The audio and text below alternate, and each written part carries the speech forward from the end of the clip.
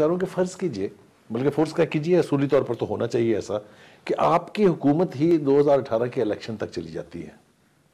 تو اس کے کیا بینیفٹ ہوں گے سینٹ کے الیکشن کے علاوہ؟ ایک تو یہ ہوگا کہ چلیے جی کسی سیاسی حکومت نے الیکٹڈ حکومت نے ٹنیور پورا کیا ہے۔ آپ دیکھ رہے ہیں یہ کہ یہ سیلنگ جو ہے، یہ آسانی سے ہو جائے گی اس وقت تک؟ دیکھیں، بات یہ ہے کہ ہمارے ملک کا جو جمہوری نظام ہے، بلکہ جتنے بھی نظام ہیں، وہ سارے ٹرانزیشن سے گزر رہے ہیں۔ وہ کوئی اتنا مضبوط نظام نہیں ہے اسی لیے ہم آپ اس طرح کے مجھ سے سوال کر رہے ہیں۔ اگر نظام مضبوط ہوتا آپ کبھی یہ سوال ہی نہ کرتے کوئی اور سوال کرتے۔